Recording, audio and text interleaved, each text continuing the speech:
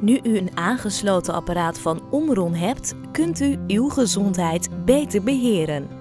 Laten we verbinding maken. Open nu de Omron Connect app. Tik op de knop Meer, drie puntjes onderaan het scherm. En tik daarna op het pictogram Profiel. Schakel nu het vakje Verbonden apparaten in en tik op de knop Nieuw apparaat toevoegen. Schakel het vakje Alle Omron bloeddrukapparaten in en tik daarna op de knop Volgende koppelen. Zet de bloeddrukmeter in de koppelingsmodus door de Bluetooth-knop 3 tot 5 seconden lang ingedrukt te houden. Op de display verschijnt een knipperende hoofdletter P voor pairing, koppelen. Ga weer naar je mobiele telefoon of tablet en tik op de knop Volgende, koppelen starten onderaan het scherm. Tik op de foto van het apparaat dat je wilt koppelen.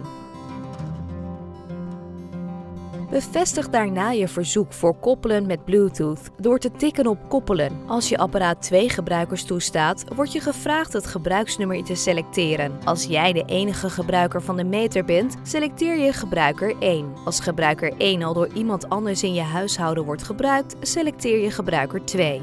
Nadat je een gebruiker hebt geselecteerd, tik je op de knop Bevestigen.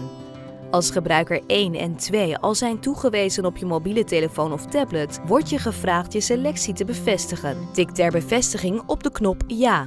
De display op je bloeddrukmeter gaat knipperen om aan te geven dat het koppelen voltooid is. Als je nog steeds problemen ondervindt, ga dan naar onze Omron Connect ondersteuningspagina via de link in deze video.